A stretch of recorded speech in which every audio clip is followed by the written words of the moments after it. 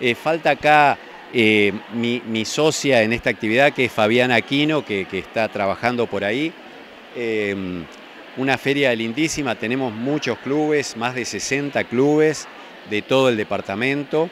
Por suerte el, clima nos ayudó, teníamos un poco de miedo de que llueva, este, pero bueno, está, está todo funcionando hermoso, el colegio nos recibió este, con, todo lo que, lo que necesitábamos, así que estamos muy contentos. Este, este año la, actividad de, clubes de ciencias cumple 40 años en el país.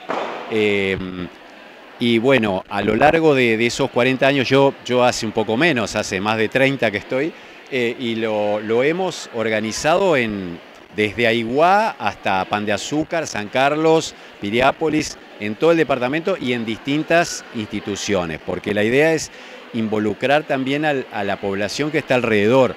Este, siempre invitamos a que, a que los vecinos visiten, eh, decimos que, hay un antes y un después cuando uno ve a estos niños jóvenes y, bueno, y no tan jóvenes haciendo este, investigaciones, tratando de solucionar algún problema, alguna dificultad, creando conocimiento. Realmente uno se va motivado y, ve que, que, así como hay cosas eh, negativas, hay muchas cosas positivas que también hay que resaltar.